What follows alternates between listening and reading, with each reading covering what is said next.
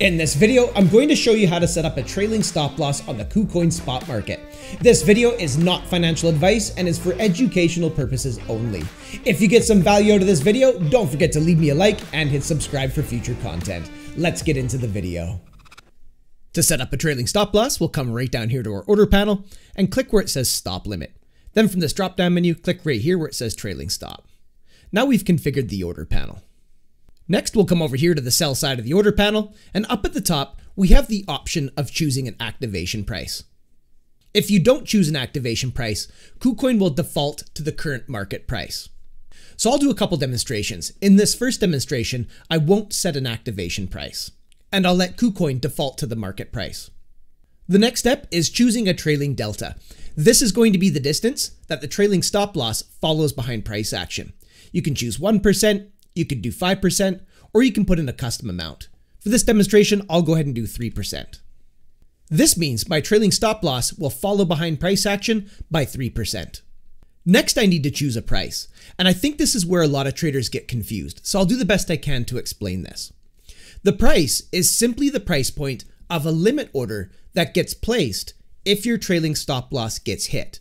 But it's important to note that if there's a better price available on the order book when your stop loss gets hit, your coins will sell for a better price than what you put in as your limit price. So for example, let's head up here to the chart and let's imagine that I want to choose a price somewhere just below this wick right here. So what I'll do is I'll come over here to the drawing tools and I'll grab a horizontal and I'll go ahead and mark that wick out, something like this. Now I can see a price point on the y-axis of the chart correlating to that horizontal at 29,486. I'll go ahead and use that as my limit price. So let's head down here to the order panel and I'll type that into price. I'll go 29,486. This will now be the price point of the limit order that gets placed if my trailing stop loss gets hit.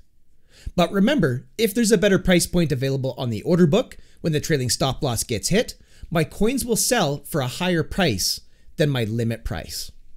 So now I need to choose the amount of the asset that I wish to sell if my trailing stop loss gets hit. And for this demonstration, I'll just go ahead and choose 100%. Now that I have this order set up the way that I want it, I'll click right here on sell. Now I've placed that trailing stop loss order. If we come over here and click on advanced orders, this is where you'll find the details of your trailing stop order.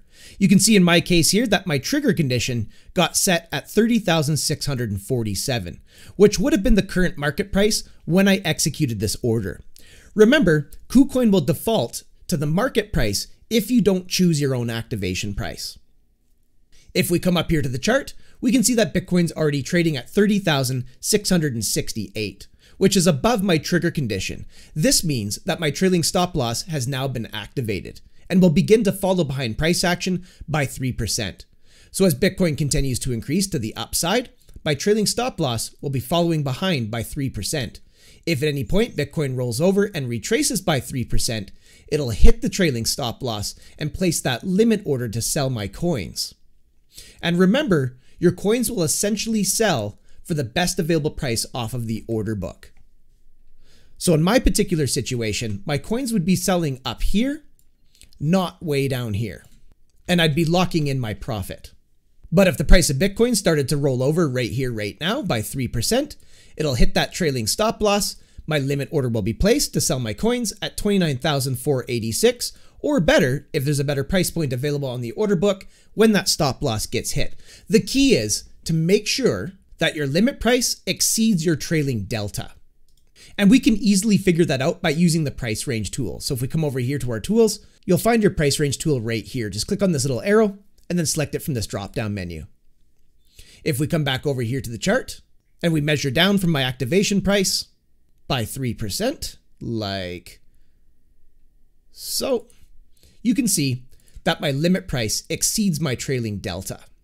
So if that 3% mark gets hit by price action, I can rest assured that my coins are going to sell. If my limit price was above my trailing delta, then this would just simply be placed as an order onto the order book. So in this situation here, price action would roll over, it would hit that 3% mark, and then my coins would be placed onto the order book at 29,907. They won't sell until price was to rebound and come up and hit my limit price. And there's no guarantee that that would happen. So I always like to make sure that my limit price is set below my trailing delta. That way I can lock in my profits if price goes favorably, but I also have a stop loss if price was to roll over from my activation price. If at any point you want to cancel your trailing stop loss, come down here, click on advanced orders, then over here on the right hand side, click on cancel. And as you can see, I just removed that trailing stop loss. Now I'll demonstrate a trailing stop loss by choosing an activation price. So we'll come back up here to the chart and let's just imagine that I want to use this wick up here as my activation price to activate my trailing stop loss. I'll go ahead and quickly grab a horizontal here from the drawing tools and I'll mark that wick, something like this. Now I can see a price point on the y-axis of the chart coming in at 31,433. And I'll use that as my activation price. So we'll come down here to the order panel, make sure we're set to trailing stop, and I'll type that price point into activation price. We'll go 31,433. Now I need to choose my trailing delta and I'll just do the same thing. I'll go 3%.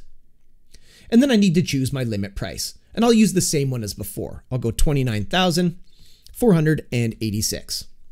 Now I'll choose the amount of the coins I wish to sell if my trailing stop loss gets activated and then gets hit.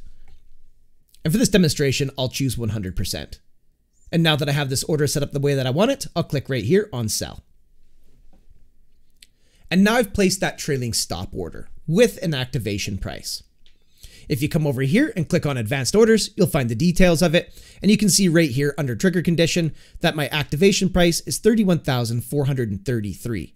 So the price of Bitcoin will have to reach 31,433 before activating this trailing stop loss. Until that condition is met, my trailing stop loss is not active.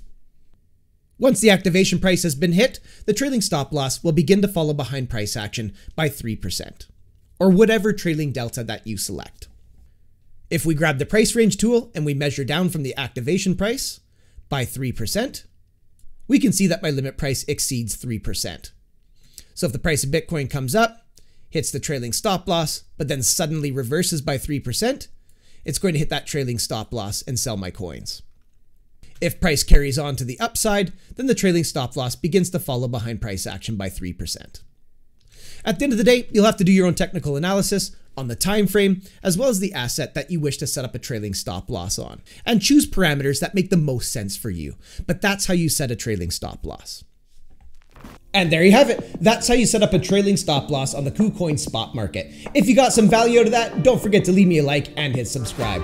Also, feel free to check out my other KuCoin tutorials, which I've put together in a playlist on my YouTube channel. Thanks so much for coming by and checking out this video. Looking forward to seeing you in the next one. And until I do, have yourself a powerful day.